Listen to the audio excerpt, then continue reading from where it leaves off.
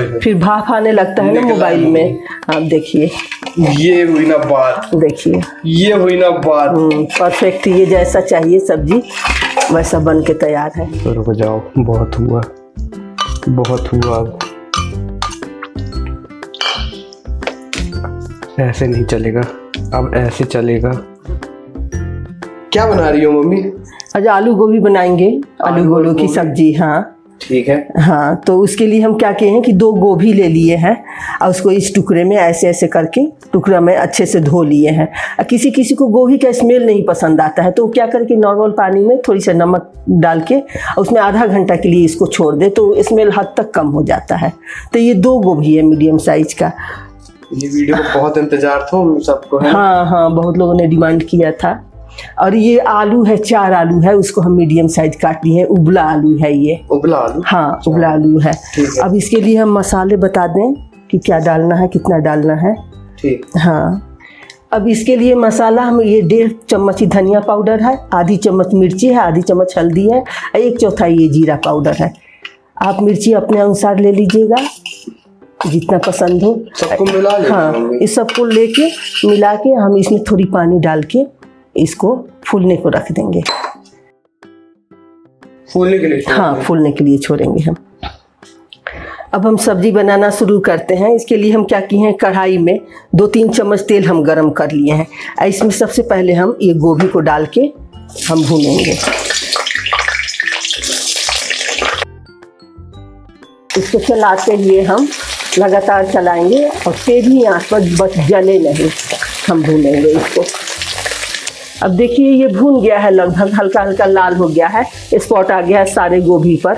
अब यहाँ हम क्या करेंगे कि थोड़ी सा नमक डाल देंगे ताकि सॉफ्ट हो जाए। बिल्कुल दो पिंच नमक डालिए और यहाँ थोड़ी सा हल्दी डालेंगे। देखिए, एक चौथाई चम्मच हम हल्दी डालें यहाँ, ताकि ये सॉफ्ट होकर और अच्छे से भून जाए। तभी तो नमक डलेगा तो पानी मतलब आएगा तो अच्छा से भुनेगा। अब ये भून गया है, हम यहाँ क्या करेंगे? कि आलू डाल देंगे ताकि आलू भी इसी के साथ भून जाए। देखिए, आलू डाल देंगे। आलू को भी इसी के साथ बस थोड़ी देर के लिए भून लेना है। बस एक मिनट तक इसको भून के हम गैस को बंद कर देंगे। अब देखिए, ये एक मिनट तक भून के हम हटा दिए हैं आलू गोभी। अब हमको कुकर में बनाना है इस सब्ज़ी को। इसलिए कुकर चढ़ाए हैं। इसमें करीब हम ढाई तीन चम्मच तेल सरसों का ले लिए हैं। आप किसी भी कुकिंग ऑयल से बना सकती हैं। अब देखिए, ये लगभग गर्म भी हो गया है। अब देखिए, कुछ खड़े मसाले हैं, जैसे जीरा है और इलायची है, लौंग है, जो भी आपके घर में उपलब्ध हो, वो डाल दीजिए। अब देखिए मसाले को तो जलाना नहीं है जीरा फूल गया है उतना काफ़ी है। अभी चार ये प्याज है मीडियम साइज़ प्याज है इसको हमको डाल देना है इसमें। चार मीडियम साइज़ का हाँ। लंबा लंबा कटा है ना हाँ लंबा लंबा हम काट लिए हैं। अब इसमें हम इसको गोल्डन ब्राउन होने तक भूनेंगे प्याज को। देखिए ये प्याज तैयार हो गया है। ऐसे ही चाहिए। देखिए प्याज परफेक्ट भूनना चाहिए। नहीं तो अगर ये कच्चा रहा तो फिर मीठा हो जाएगा। ज़्यादा हो गया तो फिर जूस सूख जाएगा फिर ग्रेवी फटा फटा बनेगा।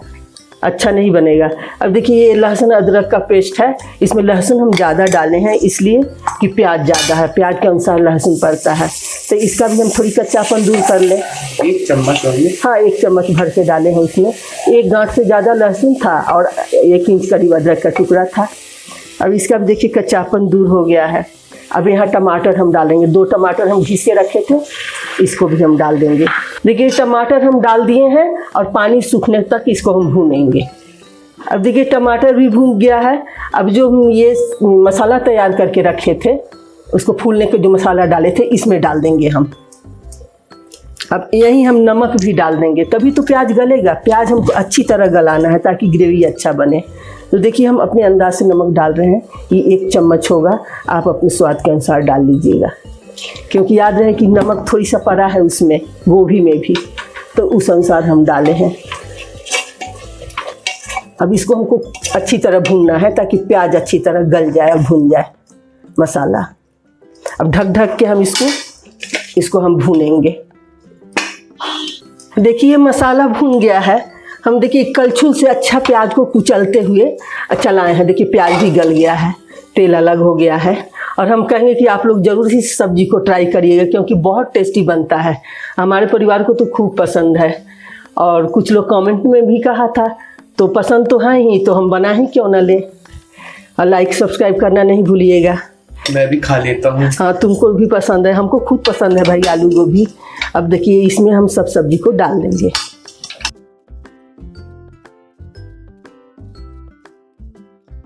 अब इसको चला लेंगे अच्छी तरह।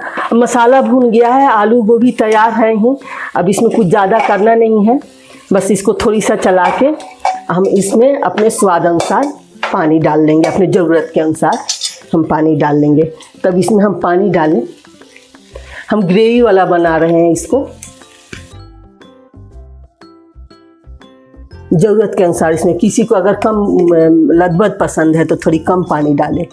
किसी को ग्रेवी चाहिए तो थोड़ी अभी सा अभी बिना पके कितना अच्छा दिखने लगा है ना? हाँ बस इसमें तेज आँच पर एक सीटी भर लगाना है इससे ज़्यादा बिल्कुल नहीं।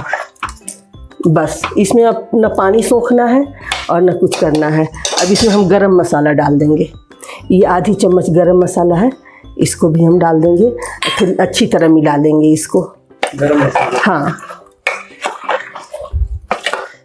हमको लग रहा है थोड़ी सा हल्का पानी और डाल दें। सही है। हाँ। बस। बस इसको तेज आँच पर बस एक सीटी आ जाए और बंद कर देना है। अब इसको हम बंद कर देंगे। अब फिर हम मिलते हैं एक सीटी आ जाए तो खोलने के बाद। अब देखिए ये सब्ज़ी बन के तैयार है। फुल आँच पर एक सीटी इसको लगाए हैं। अब देखिए प्रेशर भी खत्म है। हम बंद कर दिए थे। थोड़ा सा ठंडा हो गया। हाँ हाँ। प्रेशर हाँ प्रेशर खोलने तक तो चाहिए ही। फिर भाप आने लगता है ना मोबाइल में। आप देखिए। ये हुई ना बात। देखिए। ये हुई ना बात। परफेक्ट ये जैसा चाहिए सब्ज़ी। वैसा बन के तैयार है। ये हुई ना बात मम्मी ये हुई फिर हम कहेंगे आप लोग से कि ज़रूर ट्राई करिए और हमको लाइक सब्सक्राइब ज़रूर करिएगा और कमेंट बॉक्स में ज़रूर बताइएगा कि कैसा बना। अगर कोई कमी है वो भी बताइएगा। कोई कमी कैसे हो सकती है मम्मी? देखिए। झक्कास सब्ज़ी दिख रही है। स्वाद आ जाना है इसको खा के तो मम्मी। हाँ। क्या बात है। मम्मी मैं क्या बोल रहा हूँ? हम्म हम्म। तुम तो एकदम बस टेस्ट। हाँ ज़्यादा क्या है अपन इंतज़ार करना ही नहीं है अपन हम्म हम्म। सीधे मीस के एकदम दबा के खाना है ठीक है ना मम्मी? चलो। क्या दिख रहा है? चले टेस्टिंग की तरफ़। हाँ हाँ हाँ। मम्मी करूँ टेस्टिंग हाँ टेस्ट करो तुमको तो टेस्ट करना बहुत पसंद है। चलो किया जाए टेस्टिंग हाँ। रोटी से चालू कर रहा हूँ मम्मी हाँ। सब्ज़ी सब्ज़ी मस्त बनी है है ना? हाँ, खा के देखो। सब्ज़ी एक नंबर को रोटी के साथ खाते हैं मम्मी। खाओ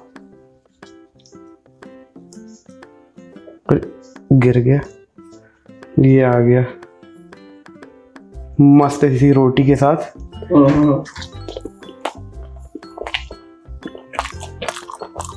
अच्छा लग रहा है ना। बहुत अच्छा लग रहा अच्छा नहीं। हम्म। परफेक्ट मिर्च सब कुछ परफेक्ट सूखा वाला बनाती हूँ ना मम्मी? हाँ। उससे ज़्यादा मज़ेदार है ये। हाँ कब सूखा अब ये तो रोज नहीं बना सकते ना। मम्मी एक बार याद है? हम्म, मेरे बर्थडे पार्टी में बनाई थी आपने। हाँ हाँ। है ना? हाँ लेकिन दाल नहीं बनाया है इसी से खाना है चावल। ठीक है। उस हिसाब से हम बनाए हैं। सही में अच्छा बना मम्मी। हम्म, अब मुद्दा आता है चावल का। चावल पूरी के साथ भी बहुत अच्छा लगता है लेकिन नहीं बनाया है पूरी। गर्मी बहुत है। चावल के साथ तो मज़ा आने वाला है। देख के बहुत अच्छी लग रही सब्ज़ी मम्मी हम्म, देख के समझ में आ जाता है ना कि एक गोभी तो लेता हूँ। मेरी गोभी आ गई इधर पे। अभी गोभी का सीज़न नहीं है ना। मन लायक गोभी वैसे मिलता नहीं है। हम्म। और जो थोड़ी मन लायक दिखा सो तीन गुना चार गुना दाम। लेकिन कहो कि अब मिलने लगा पहले तो इस मौसम में गोभी भी कहाँ मिलता था? कहाँ आप कोल्ड स्टोरेज में रखते हैं ना सब लोग? हम्म, पहले नहीं मिलता था अब मिलने लगा है हर जगह। नहीं लेकिन फिर भी गोभी अच्छी मिल रही थी ठीक ठाक मिल रही थी। खाने जा रहा हूँ बेहतरीन सा कौर बना के। अच्छा मम्मी अच्छा थिक रस्सा हुआ है यार हाँ मज़ेदार टाइप का ये। फ़र्स्ट क्लास कौर बन गया मेरा।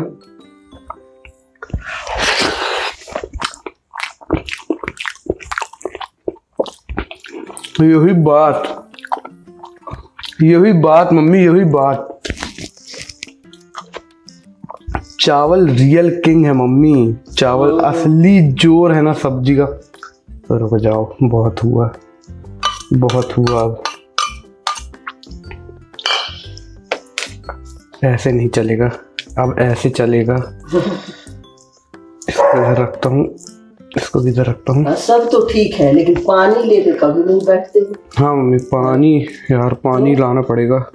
मैं जो खा लेता हूँ जल्दी से ले आऊँगा। ला दे ला दो ना थोड़ा सा? हम्म। मम्मी लेकिन सही में सही बता रहे आपको। हम्म, चावल के साथ ना मम्मी। क्या ब्रिलियंट लग रहा है यार ये तो। पूरी के साथ चावल के साथ रोटी के साथ नहीं। अच्छा लगेगा। मेरे जितने भाई हैं उनको मैं रिकमेंड करता हूँ। हम्म। कुकर में बनाओ ना बहुत जल्दी बनता है। और अच्छा भी बनता है। हमको कुकर की सब्ज़ी बहुत पसंद आता है। ग्रेवी वाला कोई भी सब्ज़ी हमको कुकर का बहुत पसंद है। हम्म।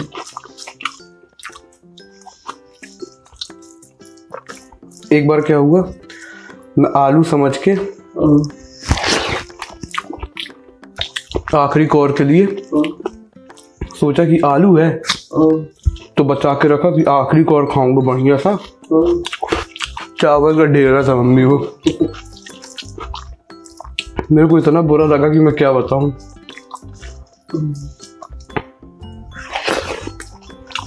मस्त।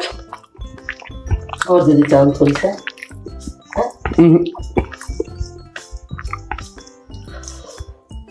Perfect perfect